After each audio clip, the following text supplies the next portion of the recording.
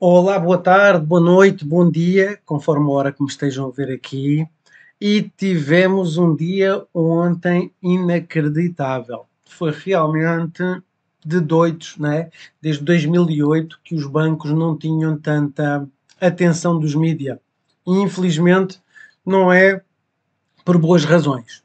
Então, três bancos fecharam, três bancos relacionados com cripto e o presidente Biden, tal como eu referi ontem, veio salvá-los uh, emprestando dinheiro. E porquê é que eu digo emprestando dinheiro? Eles não podiam estar a fazer o que fizeram em 2008, tirar dinheiro dos contribuintes e pagar e dar dinheiro aos bancos para eles terem liquidez. Então emprestaram dinheiro aos bancos para as pessoas terem segurança que tinham os depósitos. Com isso, eles, eles uh, fazem aqui algumas coisas interessantes que é, ah, se eu tenho o dinheiro lá e o banco assegura-me que o meu dinheiro está lá, eu não vou levantar. E aí é com isso que eles estão contando. Por outro lado, dizem que não são, não é dos impostos que vai ser pago, não é? é emprestado.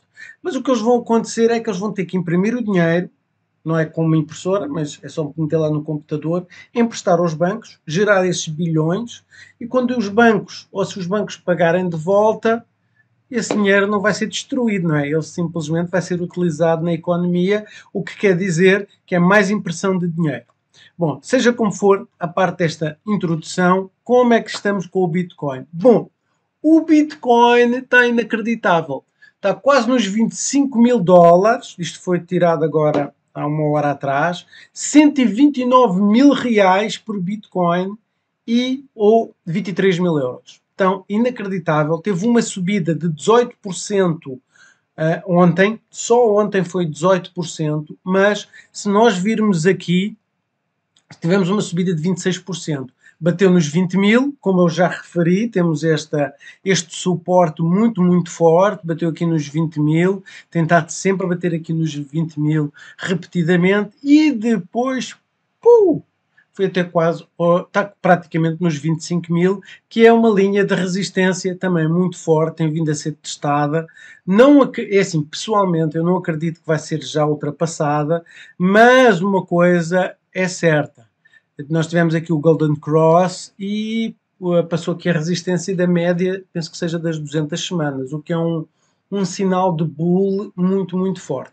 Então 26%. Então é por isso que é bom comprar todas as semanas, comprar todas as semanas, para estas alturas fazer o quê? Se você quiser, vende agora, ok? Vende agora. Não estou a dizer que eu vou vender, tá?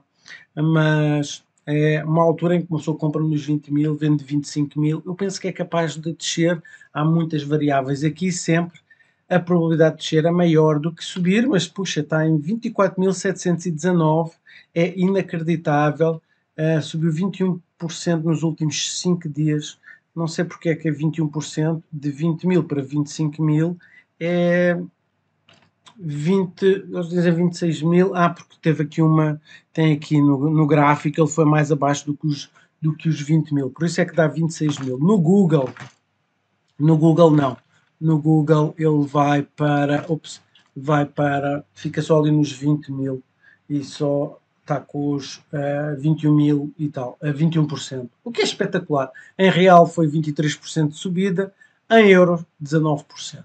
É inacreditável esta subida. E porquê é que houve esta subida? Porquê é que isto aconteceu?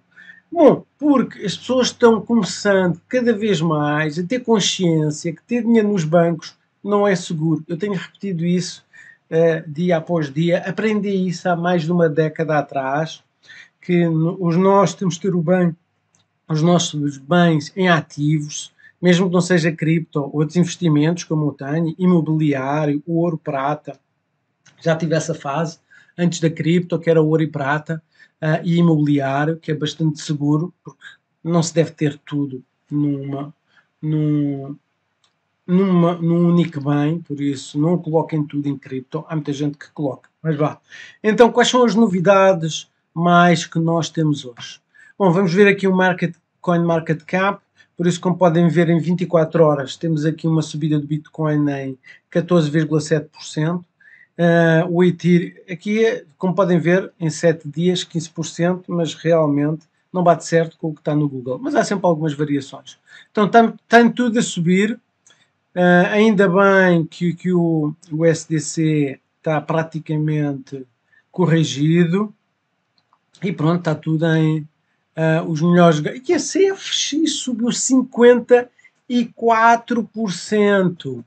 54% é o grande ganhador das últimas 24 horas, tem vindo a subir 57, quase 58% nos últimos 7 dias e por aí vai. Por isso, quem são os meus perdedores?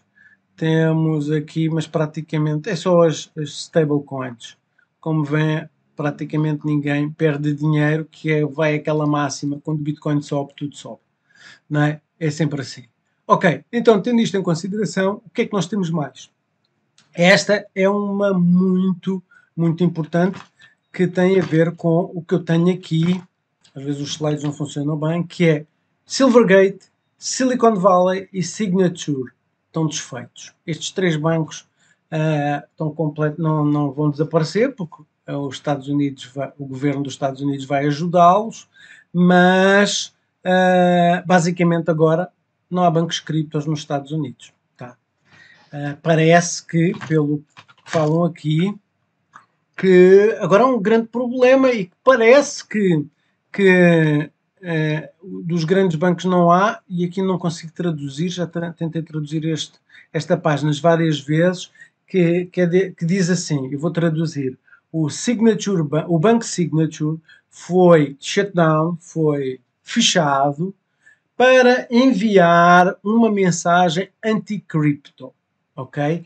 Barney Frank, é uma mensagem, é o que o Barney Frank diz, ele teve uma entrevista, está no Twitter também, mas aqui ele diz assim, o ex-congressista ex e o homem por trás do the Dodd-Frank Act, Act, Barney Frank, uh, disse que o Banco Signature um, foi, foi atacado em parte por causa da indústria dos bens digitais. E de por isso o antigo, o ex uh, lawmaker, fazedor de leis, vá, não sei como é que é dizer, uh, que também foi um membro do board do Signature Bank, disse na segunda-feira, ontem, numa entrevista à CNBC, que os reguladores colocaram como alvo o banco para enviar uma mensagem anticripto os, os reguladores de Nova York decidiram para abruptamente de shutdown, desligar o banco cripto, amigo de cripto no, no, domingo, uh, que surpreendeu uh, uh, a equipa de gestão da empresa. E isto de acordo com um artigo da Bloomberg. Este é o terceiro maior falha, crash de bancos da história americana e os reguladores ainda não ofereceram nenhuma razão por fazerem isto ao banco. Tá? Na verdade, o banco não tinha qualquer problemas, mas foi um ataque uh, e pronto. E, e, parece que os Estados Unidos está a querer fazer um ataque brutal uh, ao, às criptomoedas. Já tínhamos falado nisto várias vezes e hum, a OKCoin, inclusive, tal como a Binance já tinha feito, suspende depósitos em USD, em dólares. Uh, porque ela trabalhava com a Signature Bank, a Binance já tinha fechado também, mas isto foi por causa do, do Silvergate, o banco Silvergate, e cada vez mais as exchanges estão a ter problemas em trabalhar nos Estados Unidos, ok? Estão com problemas e a OKCoin, é uma exchange, disse que, pronto, enquanto não encontrar uma alternativa, ela irá, ela irá uh, suspender os depósitos em dólares. E o que, é que isto, o que é que isto representa para você e eu? Será que vamos ter um ataque global? E deixem-me dizer, nós temos seguros. É impossível fazer um ataque global. Porque mesmo, imaginem, no pior caso, vamos lá pensar, a China bloquear, a Rússia não vai bloquear que eles precisam cripto. Uh, veja, já, já temos uma porta. Uh, os Estados Unidos bloquear cripto. Bloquear não é bem bloquear, arranjar estes tipos de problemas, porque seriam um, um, a nível das leis dos Estados Unidos não, não podem fazer isso. E além disso, há muitos congressistas e, e, e perder muitos votos se fizessem isso. Mas podem criar estes problemas e fazer estes ataques simulados. Mas reparem, vai sempre haver offshores, vai sempre haver bancos pequenos que vão dizer assim: ah, é? Ah, querem criar isto, mas olha, querem criar este problema para estes bancos, mas nós não temos esse problema. Só vamos utilizar este nicho para poder uh, crescer. Tá? Porque o problema destes bancos é que não é que eles estejam falidos, não é que, o problema é que não têm liquidez. Eles pegaram no dinheiro dos depositantes e investiram nos títulos e agora, ao vender, eles perdem dinheiro. Basicamente é isso, assim só por um resumo. Então, hum, qualquer pessoa com cartão de crédito pode comprar numa offshore, pode ir para o Dubai, por exemplo, e comprar com cartão de crédito no Dubai. Tanta gente que nem cartão de crédito tem, pede a alguém que tenha um cartão de crédito, dá-lhe o dinheiro e essa pessoa compra com o cartão de crédito dela. Não tem qualquer problema, ok? Ou alguém que compre e venda a alguém com dinheiro. Não tem qualquer problema. Vai sempre haver em alguma parte do mundo onde se pode comprar cripto, tá? E quanto mais tenta, há uma lei da física espetacular que é para uma ação existe, para uma força, num determinado sentido, existe uma força exatamente igual no sentido oposto. Uh, por exemplo, quando nos apoiamos numa parede, a parede está a fazer uma força no sentido oposto à nossa, à nossa força contra essa parede. Uh, e quando nós tentamos comprimir algo, esse algo vai fazer uma força exatamente oposta. E quando consegue comprimir isso, vai ter uma força muito maior para se expandir novamente, que é o que acontece quando se coloca alguma coisa, por exemplo, debaixo d'água, quando se comprime um ar, existe uma força muito maior. Então, é, olha, e há um exemplo brutal que é a Nigéria. Tá? A Nigéria, ainda há poucos dias atrás, a Nigéria estava a fazer trading de Bitcoin a mais de 30 mil dólares. Porquê? Porque o governo começou a limitar, para além de banir cripto, Uh, penso que eles chegaram a banir ou proibir, não sei como é que está neste momento. Uh, uh, limitou o número de, de levantamentos na, nas caixas automáticas, em Portugal é multibanco, e então o Bitcoin subiu, as pessoas vão para, vão para um meio que lhes dá mais segurança. E, e é uma das razões pelo qual o Bitcoin subiu tanto, de ontem para hoje, de, ontem, de domingo para hoje.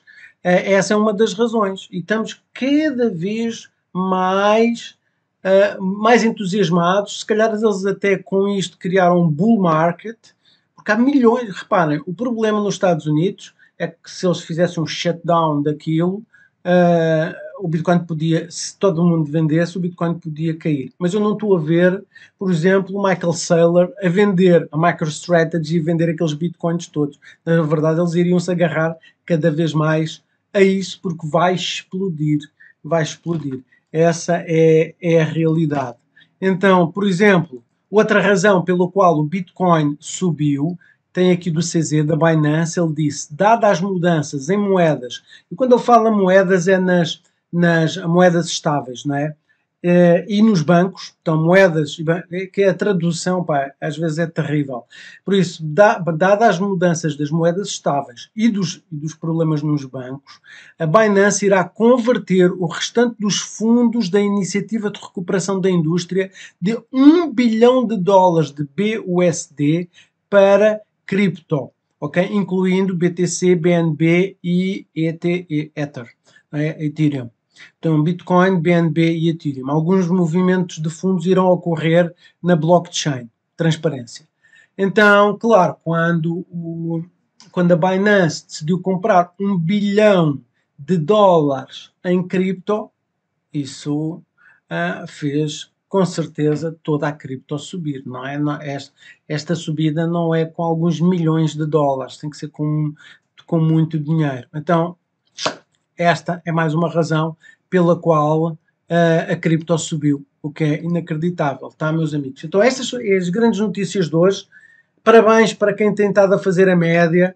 Uh, não sei se é a altura de vender alguma coisa. Eu não sou daquelas pessoas que me agarro para sempre, gosto de vez em quando de vender, mas também não sou conselheiro financeiro, não lhe posso dizer que agora é boa altura uh, de, de, vender. Imaginem que se o Bitcoin passar a marca dos 25 mil dólares, o próximo, a próxima barreira, uh, por acaso eu, dou, eu nem, nem vi, mas uh, 26,5, 27 mil, uh, depois 30 mil.